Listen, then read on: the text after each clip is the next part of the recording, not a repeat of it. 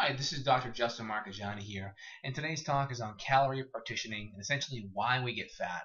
So reviewing calorie partitioning, all that means is essentially how is the fuel that you're taking in your body getting burned? What direction, where in your body is it going? Is it getting burnt out by your muscles and your mitochondria, or is it getting stored in your fat cell? So one of the first things that, that dictates this, the primary thing is actually hormones. So again, when you eat your meal, typically what we see is this. We have blood sugar on the y-axis, time on the right.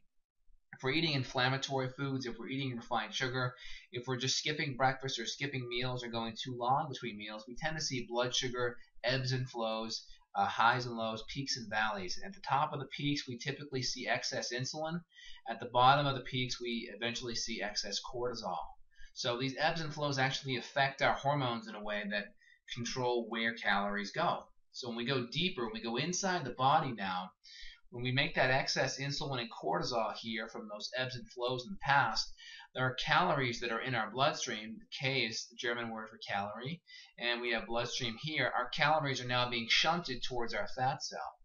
So then over time, what we're going to start to see is an accumulation in the fat cell of calories, and the fat gets bigger and bigger and bigger. And that's kind of a key concept here as the fat cell is getting bigger, the mitochondria get smaller. So typically, we always gain weight and feel more lethargic. We always feel worse when we get fatter. We never sit there and say, oh my gosh, I just gained 20 pounds this month and I feel great. Never happens that way. You always get more sluggish, more tired, and more fatigued.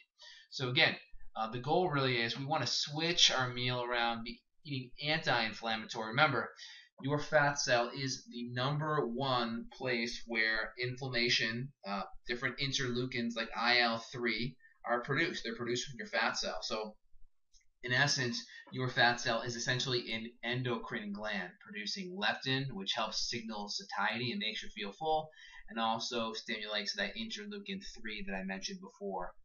So again, when we're eating anti-inflammatory, we're not skipping breakfast, we're not skipping meals, Again, the more our thyroid's impaired, we want to be eating every three to five hours high quality protein fats.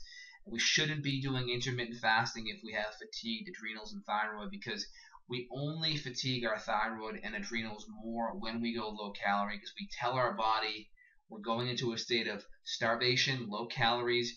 Your body actually starts producing less T3, your active thyroid hormone, more reverse T3, which is like the brake on the thyroid, and our body starts actually producing more cortisol, and it starts shifting and producing less sex hormones to help us rebuild. So it's it's pretty devastating when we're already unhealthy to go too low calorie.